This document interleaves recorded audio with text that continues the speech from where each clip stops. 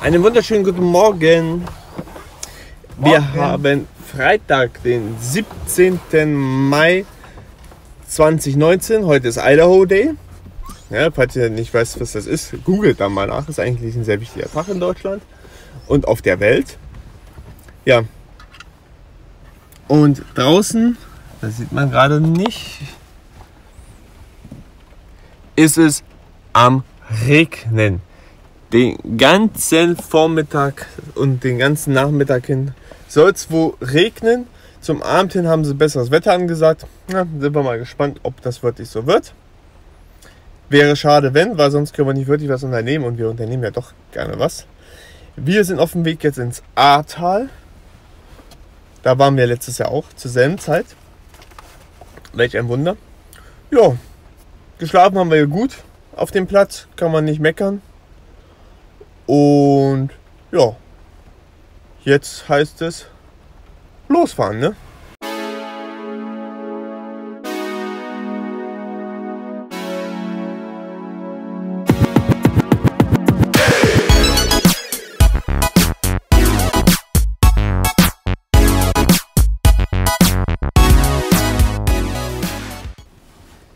Jetzt heißt es losfahren.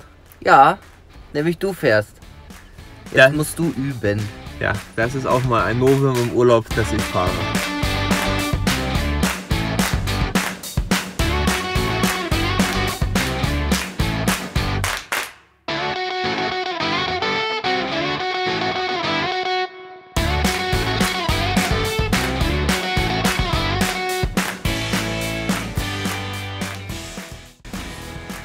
So, gefrühstückt haben wir.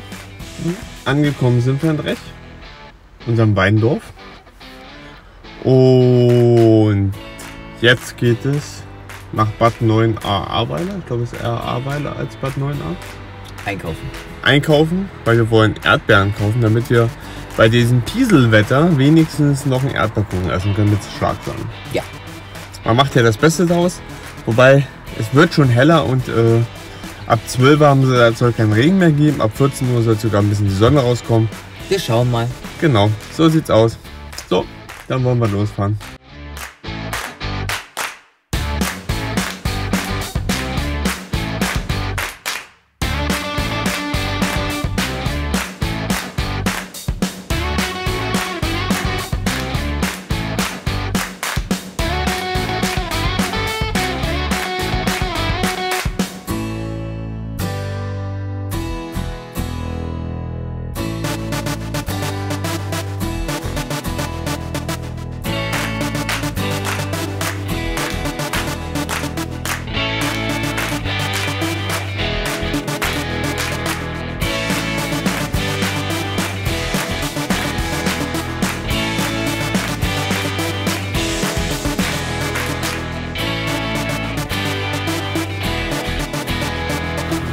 Wir sind angekommen in Malschoss und sind hier auf dem Campingplatz, ich glaube zur Bergwiese heißt er. Jo. Bez bezahlen jetzt für unseren Bulli 6 Euro statt 8 Euro. Für ein Wohnmobil. Genau, wo wir kosten. Strom. Das wissen wir noch nicht, das werden wir euch am Sonntag sagen, Genau. was wir insgesamt bezahlt haben. Die Personen kommen noch dazu und so. Genau. Duschen kostet hier 50 Cent. Das zeigen wir euch gleich. Wir machen nämlich gleich nochmal einen Rundgang hier über den Campingplatz. Genau. Ja, sonst, es ist jetzt trocken. Und wir hoffen, dass jetzt dann auch bald die Wolken wegziehen. Man sieht es ja da hinten so schön, wie sie über die Berge gehen. Wenn du dich andersrum drehst, dann siehst du die Dunstwolke. Genau, Auch ein besonderes Bild. genau da sieht man das. Hier jetzt sozusagen. Weiß nicht, ob man das in Auf die Richtung. Seite. Oder da. Da Genau. sieht man es sehr gut. ja, sind wir mal gespannt, wie unser Wochenende hier im Ahrtal wird. Ist ja jetzt unsere letzte Station auf unserem Urlaub. Ja. Ja, und dann schauen wir mal.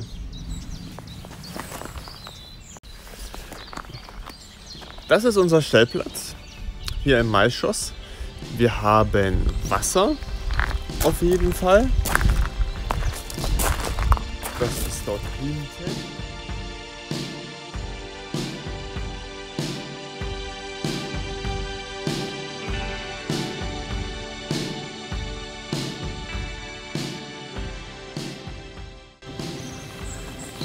Gerade in der Hochsaison, Anfang August Ende und dann September hin, würde es sich lohnen, auf jeden Fall nachzufragen, ob hier Platz ist. Weil hier sind Weinfeste, das ist eine Weinregion. Wie gesagt, wir beziehen unser Wein ja selber hierher.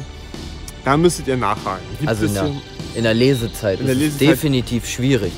Also äh, wir haben immer bisher, wenn wir mal äh, im September oder in der Lesezeit hier waren, dass äh, wir immer noch Glück gehabt haben, dass wir noch einen Platz gekriegt haben. Aber Ja. das ist jetzt nicht die Regel. Ich meine, und wir fahren einen VW-Bus, den kriegt man immer noch mal irgendwo zu, äh, zwischen. Und äh, beim letzten Mal haben wir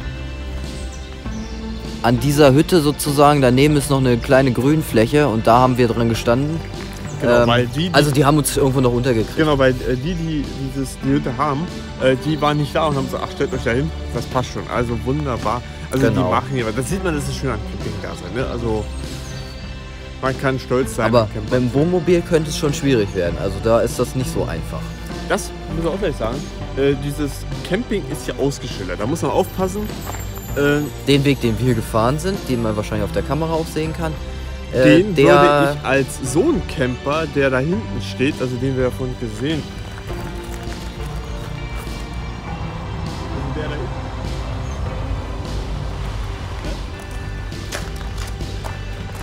Der da hinten, mal gucken, Ja. ob ich schneiden muss. Ähm, also ich glaube nicht, dass der den Weg herkommen ist. Also das ist echt äh, ziemlich eng. Selbst für einen Bulli ist das schon eng. Wenn dann ein zweites Auto kommt, geht eigentlich fast gar nicht mehr. Da muss man warten. Und wenn ich mir vorstelle, da kommt so ein Camper und noch ein Camper. Also es gibt so einen Außenweg, der finde ich, den sollte man besser besch äh, beschildern. Aber Ja. das ist schon seit, das, das Navi, das le- lenkt einen direkt durch. Also durch die engen Gassen da durch. das ist ja. schon doof, wenn das Navi sowas macht. Ja, wir werden uns jetzt noch ein bisschen ausruhen und äh, einen Film gucken, weil Wetter ist noch nicht so Bombe. Genau, Und wir- nachher äh, hoffen wir, dass das besser wird und dann werden wir auch noch mal uns auf den Weg machen. genau. Wie immer. Hat, glaube ich, geklappt. Sieht nach Sahne aus. Da ist Sahne, keine Butter. Und da haben wir den lecker Erdbeerkuchen. Den werden wir uns jetzt zu, Gemut, zu Gemüte ziehen. Genau. Guten Hunger.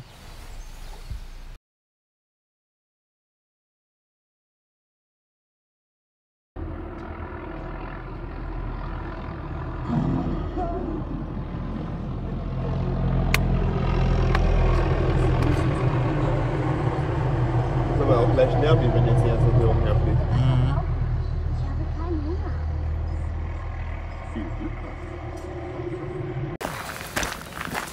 Das klebt nur wie so. Naja, super. So, der Kuchen hat geschmeckt. Genau. Den Hubschrauber haben wir erstmal nochmal gefragt hier, äh, was es mit dem auf sich hat. Der spritzt gegen Mehltau, soll sehr stinken, weil das schwefelhaltig ist und äh, es ist klebrig, aber es ist angeblich nicht äh, gefährlich für den Menschen. Aber nichtsdestotrotz müssen wir nicht da unbedingt drunter sein, wenn er dann da fliegt. Also Genau, werden wir in die Richtung gehen, wo die nicht mehr sind. Gerade wenn es klebrig ist, unsere Technik würde uns das sehr, sehr Ja, nicht so schön. Genau, wir gehen nämlich jetzt in die Weinberge, den Rotweinwanderweg, werden aber wahrscheinlich nicht bis Rech laufen, sondern nehmen die Maischosser Ecke. Das ist auch schon ein ganz schönes Stück, was man da jetzt laufen kann. Und da nehmen wir euch jetzt einfach mal mit. Genau. So, von hier oben ein Blick auf, das, auf den Campingplatz zur Bergwiese. Und man sieht überall Weinreben, Weinreben, Weinreben. Und falls einer sucht, da sind auch Weinreben.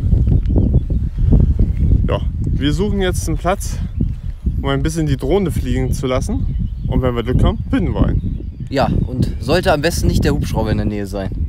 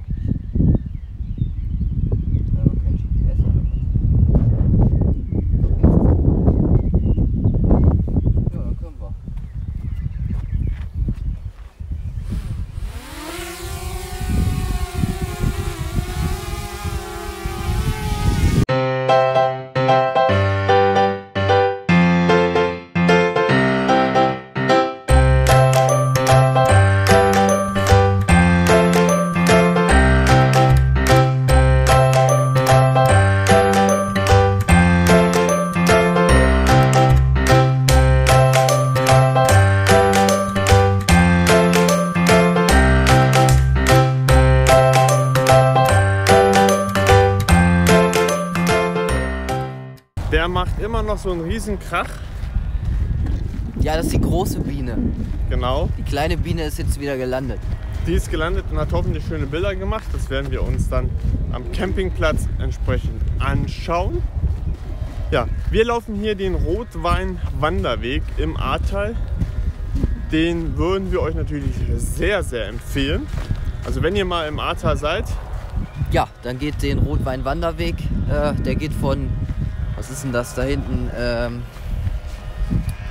Alten, Altenahr, nee, Al, Al, ist das Alten, ist da. Ahrweiler. Ahrweiler. Und äh, geht Richtung äh, Bad Neuenahr. ne, kann ja nicht sein. Nee, dann ist es Altenahr, so rum. Von Altenahr bis Richtig, Bad genau. Nach Neuenahr, Bad Neuenahr. Ahrweiler. Genau. Bisschen verwirrend. Aber sehr schön, der Weg. Also wirklich, kann man empfehlen. Ich finde persönlich diese Ecke, äh, wo wir jetzt hier sind sozusagen, beziehungsweise da müssten wir noch weiterlaufen in die Richtung. Das ist dort in die Richtung. Äh, das heißt, der Weinberg macht hier so eine Kurve. Finde ich persönlich am schönsten, aber das ist ja immer Geschmackssache. Genau, da geht es zu unserem Weindorf nach Rech. Also Maischors Rech, das kann man gut laufen. Haben wir theoretisch morgen vor, wir wissen es aber nicht, weil da muss wirklich das Wetter mitspielen. Aktuell sagt das Wetter eher nicht. Wobei die vom Campingplatz gesagt haben, äh, wenn der große Vogel in der Luft ist, dann ist auch erstmal in der nächsten Zeit nicht mit Regen zu rechnen, weil sich ansonsten dieses Schwefelzeug wohl wieder von den äh, Trauben oder beziehungsweise von den Pflanzen sich löst. Also dann würde das halt nichts bringen gegen diesen Mehltau, hat sie gesagt, ne? Mehltau. Ja. Genau. Dann hoffen wir auf die Einheimischen und der alten Bauernweisheit. Weil es wäre schon schade, wenn wir jetzt im Ahrtal sind und das Wetter würde uns reinregnen. Das wollen wir ja nicht. Aber wenn es so sein sollte, machen wir natürlich trotzdem das Beste draus. So, jetzt mache ich die Kamera aus, weil ich habe das böse Gefühl, dass ich bald mich wieder auf die Schnauze packe, weil ich nämlich nicht auf den Weg achte, sondern nur auf die Kamera. Wer? Wenn ihr in der Region seid und ihr macht einen Besuch über den Rotweinweg, dann können wir euch auf jeden Fall Das Restaurant hier. das Weinhaus Michaelishof empfehlen. Ja. Wir waren vor zwei Jahren zu Schwiegermamas Mamas 60. Geburtstag Genau. und war richtig gutes Essen. Also Kann man echt nicht meckern. War schön und war auch schön gelegen. Gut, wir haben äh, drin gesessen, äh, weil ich glaube, das Wetter war jetzt nicht so bombastisch. Ja, es war äh, Ende April, also da kann man manchmal auch schlechtes Wetter haben. Auf Genau. jeden Fall äh, lohnt es sich, wenn man den Rotwein-Wanderweg geht. Nicht so wie wir, die erst im Mai schoss dumm und dusselig sich nach einem Restaurant gesucht haben und im Endeffekt sind wir hier gelandet. Oder? Genau. Zum Glück, wie man es nehmen.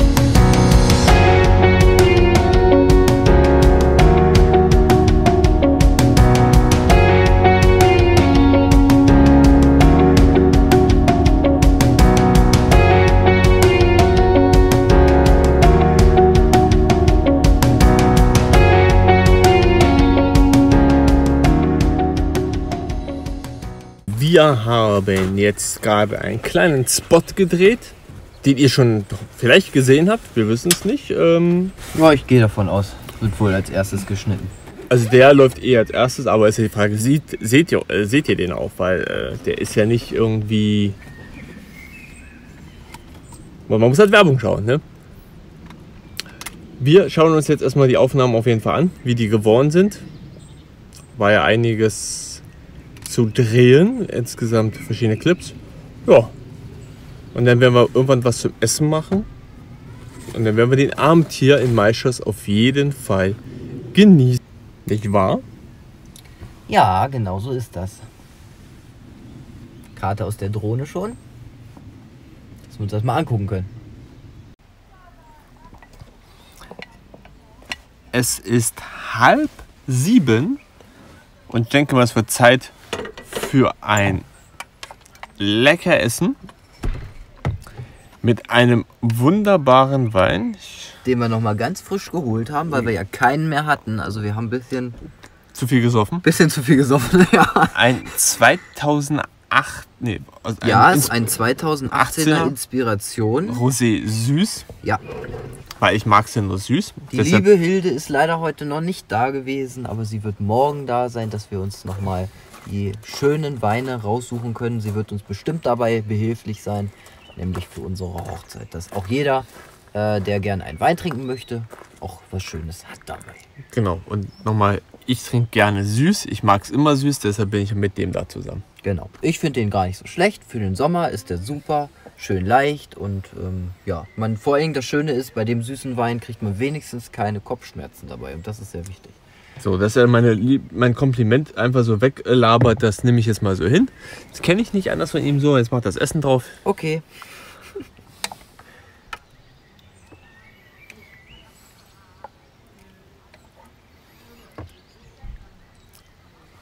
Nudeln, Hähnchen, Kaisergemüse. So ein standard einfaches Gericht. Sehr einfach und schnell fertig und genau. In diesem Sinne, Guten Hunger. guten Hunger. Ja, doch noch recht schöner Tag neigt sich dem Ende. Wir hatten heute Morgen zwar Regen, aber es ist äh, jetzt noch schön geworden. Wir hatten noch einen wunderschönen Tag auch im Weinberg. Ähm, ja, haben lecker gegessen, werden jetzt äh, noch einen schönen Film gucken. Ähm, ja, liken, teilen, abonnieren. Ihr wisst ja, wie das geht. Ähm, das könnt ihr äh, mal nebenbei machen. Ich weiß nicht, ob das jetzt hier ein Ende ist äh, von diesem Video oder, oder halt äh, erst äh, morgen. Das werden wir dann sehen. Ähm, ja, genau. Ansonsten allzu allenseits sozusagen gute Nacht.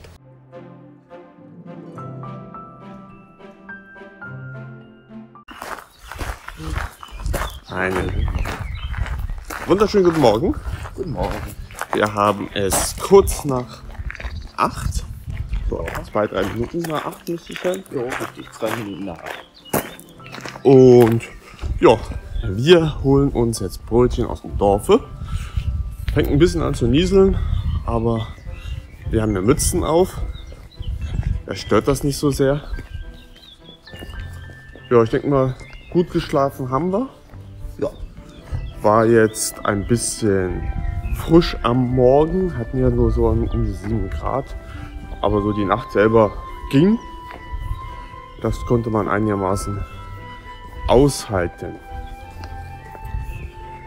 Anscheinend feiert hier jemand seinen 30. Geburtstag. Oder Tempo 30. könnte auch sein. Das neue Tempo 30 Schild gemalt von Kindern. Gegebenenfalls, wenn die das öfters machen, dann ist es das Blut von den Kindern, weil sie platt gefahren worden sind. Aber eigentlich kann man hier mehr als 30 auch nicht wirklich fahren. Das macht schon was. bin hier mit 20 gefahren. Oder? Deshalb. So, mal gucken, was der Bäcker uns so bietet.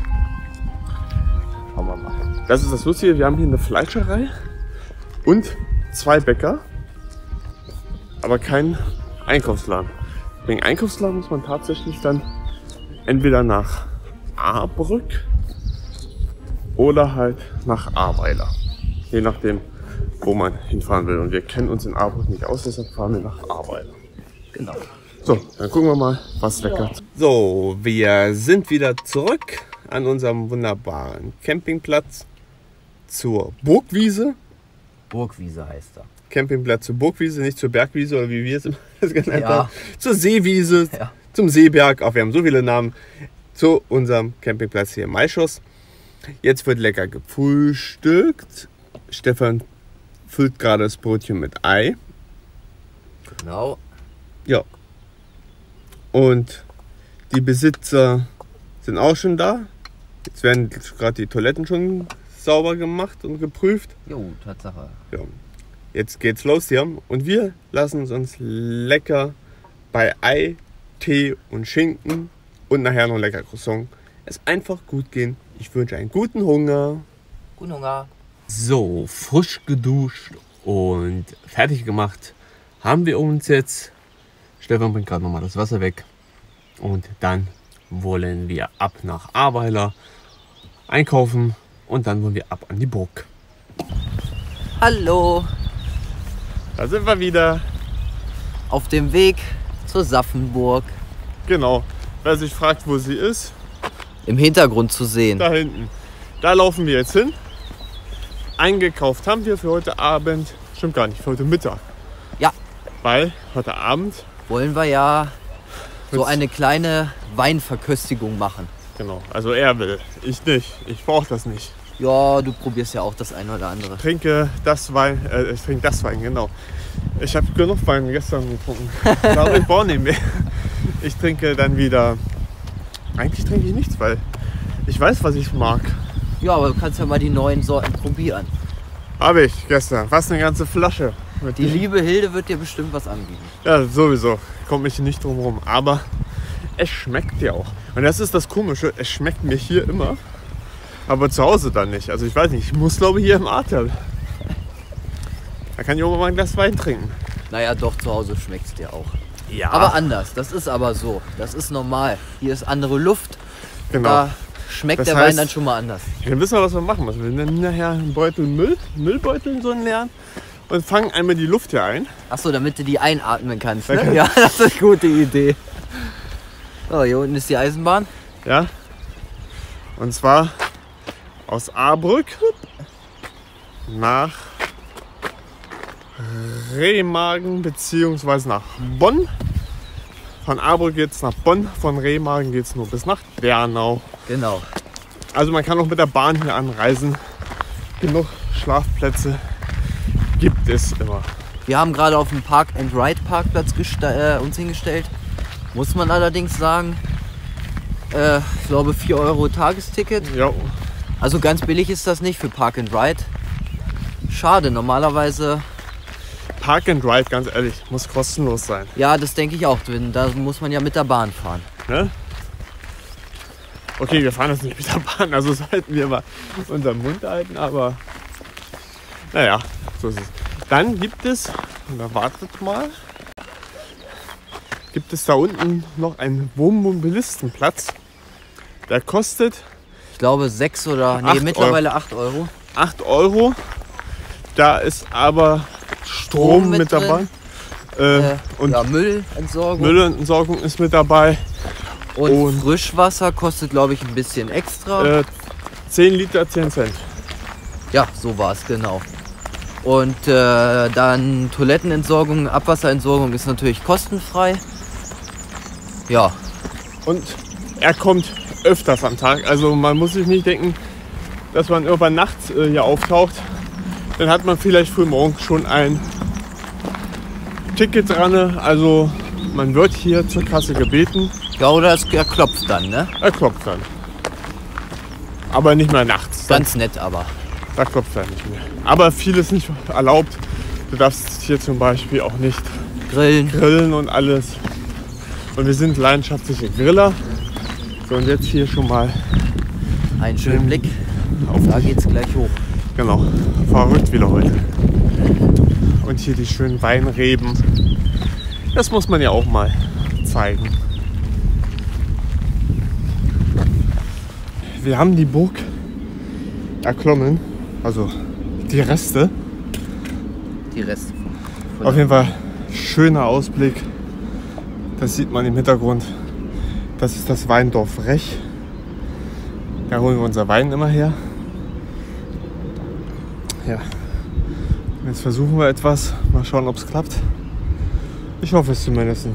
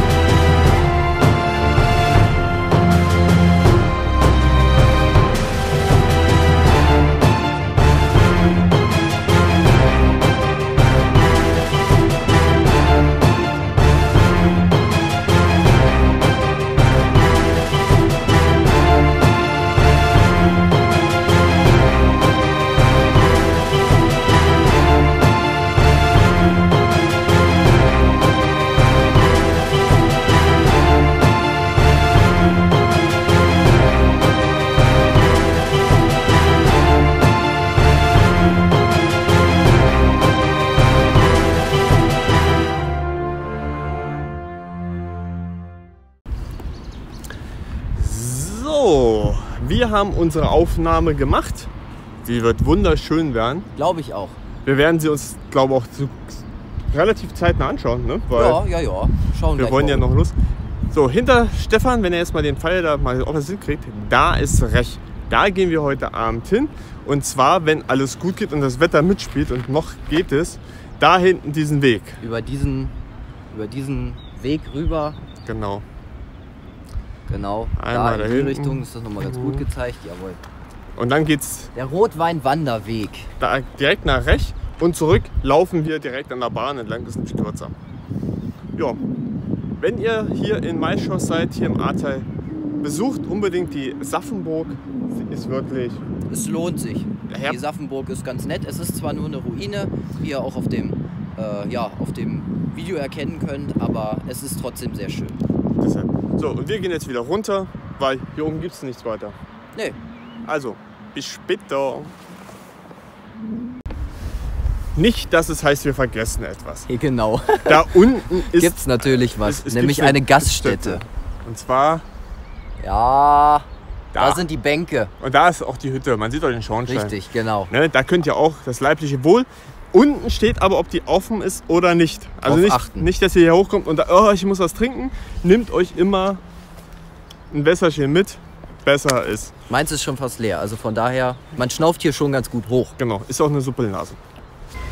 Wir sind auf dem Weg zum Rotwein-Wanderweg. Der da hinten irgendwo ist. Eigentlich da oben. Da oben, wo die Leute laufen. Aber wir haben uns gerade mal überlegt, wir stellen uns mal über. Kurz mal eine, äh, äh, unter eine Überdachung. Genau, weil. Es hat mal kurz geregnet oder es regnet immer noch kurz. Ja, es ist so ein leichter Nieselregen, an sich nicht schlimm, aber naja, wenn man mit der Technik umherläuft, will man ja dann doch nicht nass werden. Genau. Können ja im Moment die Wolke abwarten, danach wird es wieder heller. Genau. Es ist jetzt nur eine graue Wolke. So sieht's aus. Ja, sind wir mal gespannt. Wie lange es dauert. So. Stübbeln tut's noch. Aber das hat gegossen. Ja, also wie Wir gut, dass wir. froh, dass wir angehalten haben. Das hätte uns volle Kanne erwischt. Jo. Jetzt hoffen wir, dass es einigermaßen trocken bleibt. Und wenn nicht, ja, dann sehen wir bei Hilde aus wie zwei nasse Pudel. Zwei begossene Pudel, genau. Genau. Naja, wird schon hinhauen. Hoffen wir mal. Wir sehen zumindest das Licht am Ende des Tunnels.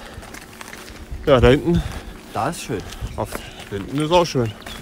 Aber ob es da schön ist, wo wir jetzt hingehen, das werden wir dann gleich mal sehen. Weil da, ah nee, ich kann ja sehen, wo Stefan hingeschaut hat. Da Ja, hinten ist äh, auf jeden Fall hell. Ja. Aber die schlimmste Front soll wohl weg sein. da, das habe ich auch schon gesehen. Ja, und liebe Wetter-Apps, Leute. Also der Regen, der war zu sehen. Dass ihr das überhaupt nicht erkannt habt, Scheußlich. Zwei Apps haben gleich gesagt, nö, es ist kein Regen bis 17 Uhr. Genau. genau. Verlässt du dich auf Wetter-Apps. Okay, irgendwo auf dieser Welt ist gerade 17 Uhr. Aber dann muss es auch da regnen und nicht bei uns. Ja,